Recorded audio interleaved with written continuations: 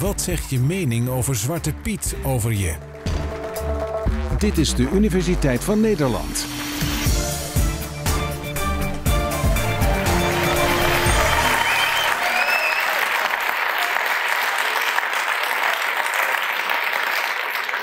Ja, mensen, het is zo langzamerhand een uh, constante um, in Nederland.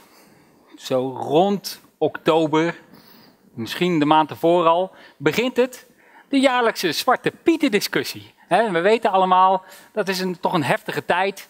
En uh, vorig jaar, uh, toen, ja, ik, ik, was net begonnen in Tilburg, belde er een journalist op van het Brabants Dagblad.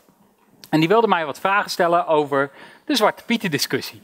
En dat vond ik wel interessant en ik wilde daar wel iets over zeggen. Maar tegelijkertijd had ik ook geen zin om tegen doodsbedreigingen aan te lopen. Dus um, um, ik zei tegen die man, zei ik, oké, je mag me bellen, maar ik wil het wel nalezen. Ik wil kijken uh, wat je schrijft en ik wil uh, kunnen bijsturen op een of andere manier.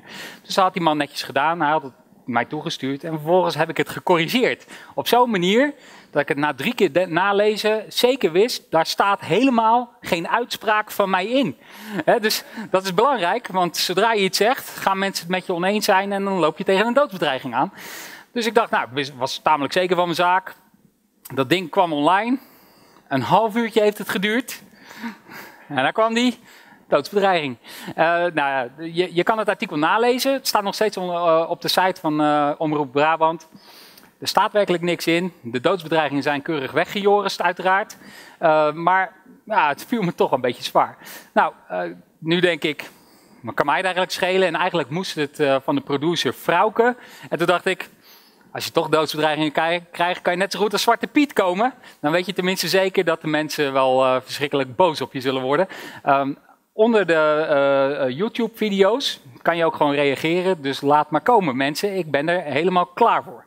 Um, maar eigenlijk zijn al die doodsbedreigingen ook bizar. Zeker in een land dat als je kijkt naar um, internationaal vergelijkend onderzoek, naar wat mensen eigenlijk vinden over de vrijheid van meningsuiting bijvoorbeeld, dan is het op zijn minst vreemd te noemen dat Nederland daar hoog scoort. Eigenlijk een van de hoogst scorende landen als het gaat om uh, dit soort uh, ideeën.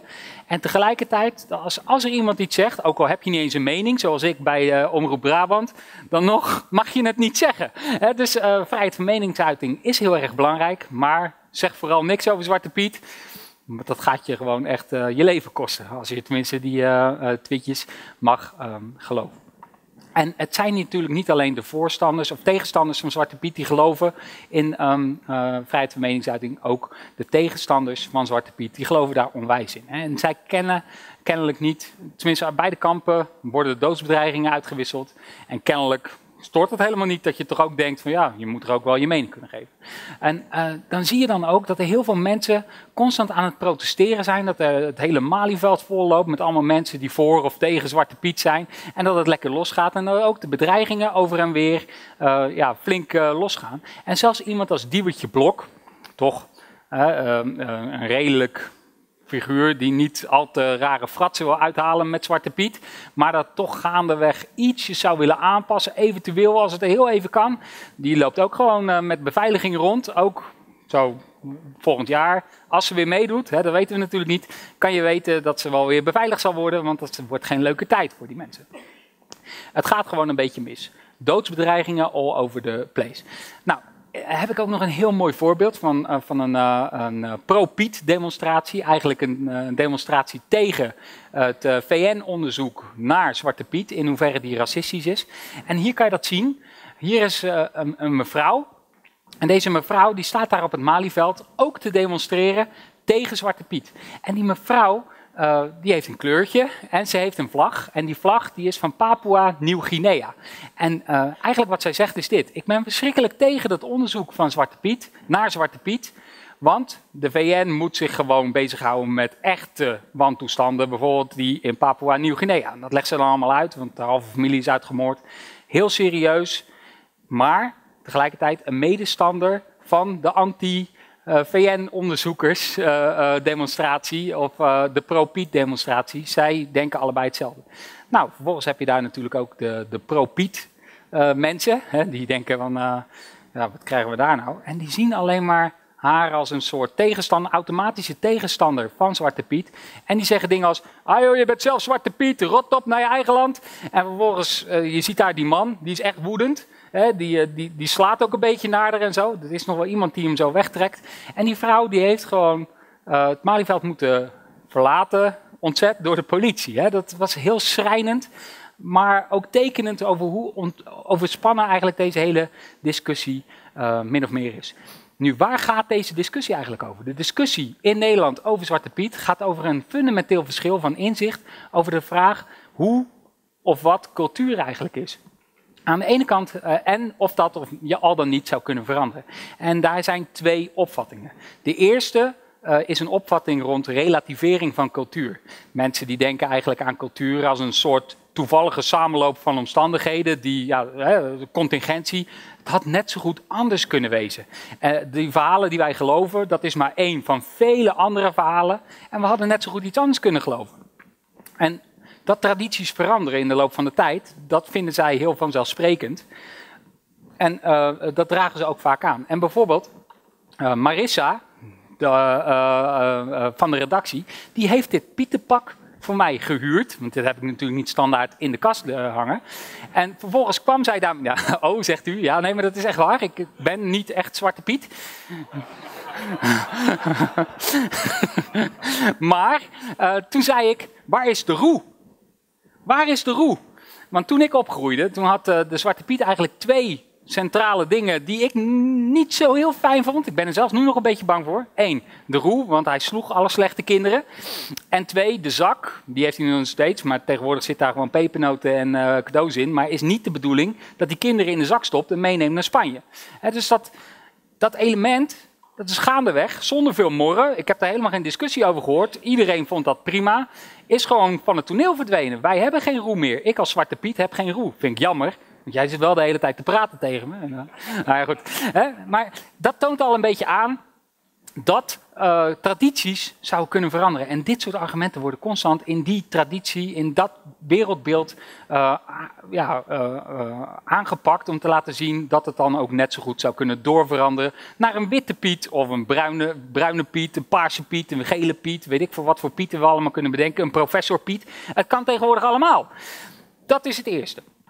Ten tweede heb je juist mensen die juist vasthouden aan tradities en cultuur en eigenlijk dat zien als uh, een vaststaand feit. En sociologen noemen dat reificatie. Dat is eigenlijk het idee dat uh, cultuur iets echts is, iets tastbaars, iets verstoffelijks, wat niet zomaar kan veranderen. Hè? Dus um, um, um, uh, het idee van Zwarte Piet dat is niet zomaar iets. Dat is jarenlang zo gebleven, uh, geweest. Daar hebben we jarenlang hebben we daar houvast aan gehouden.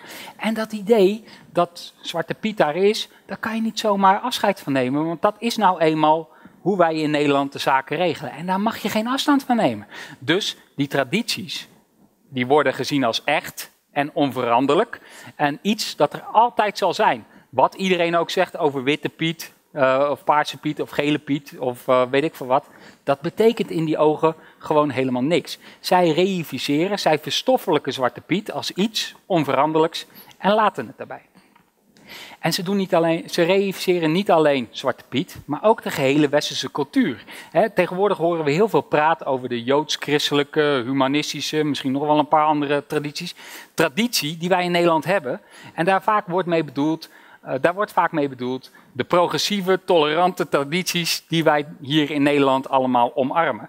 Bijvoorbeeld het idee dat je homo's niet zomaar van het flatgebouw af zouden maar uh, uh, uh, vanwege het simpele feit dat ze homo zijn, maar gewoon tolereert en zegt, jij bent homo, ik ben hetero, maar dat maakt allemaal niet uit, we zijn allemaal gelijk. En dat idee wordt vrij breed gedeeld en dat idee wordt eveneens tegenwoordig door de reificerende mensen gezien als onveranderlijk en nauwelijks uh, uh, uh, meer aan te passen of zo. En precies dat zie je ook. Hè? Dat, dat groepen mensen die reificeren, die reificeren dus niet alleen tradities als Zwarte Piet, maar ook onze eigen westerse traditie.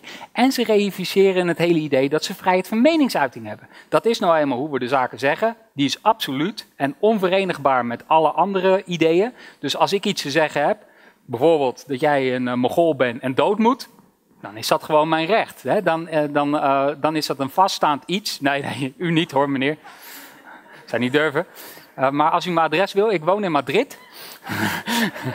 Oké.